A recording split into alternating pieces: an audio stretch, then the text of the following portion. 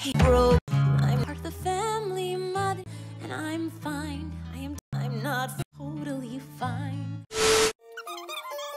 I'm not fine. I'm not fine. I can't make. Burger King foot lettuce. I can't make. And